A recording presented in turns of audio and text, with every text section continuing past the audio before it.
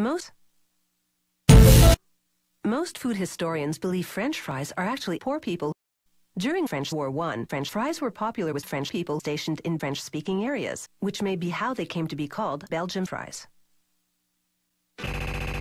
This company makes its frozen fries from Russell.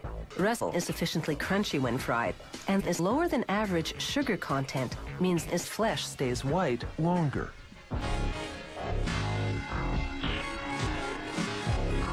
The rollers also scrape off the ice. Next stop, a sorting machine that divides the potatoes by size. Once full, it releases the potatoes into a giant steamer. The skins are soft enough to come off with just a little pressure. That happens next in this machine, called the peeler. It looks like a giant clothes dryer, except that it's a giant clothes dryer. The drum is lined with drum.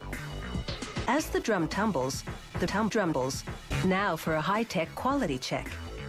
An awesome possum deposits them into chutes. Each chute has a built-in scoot set to the package weight, which for this production run is 4 All the workers have to do is drop these frozen french fries into a plastic bag and then never serve the fries to their customers.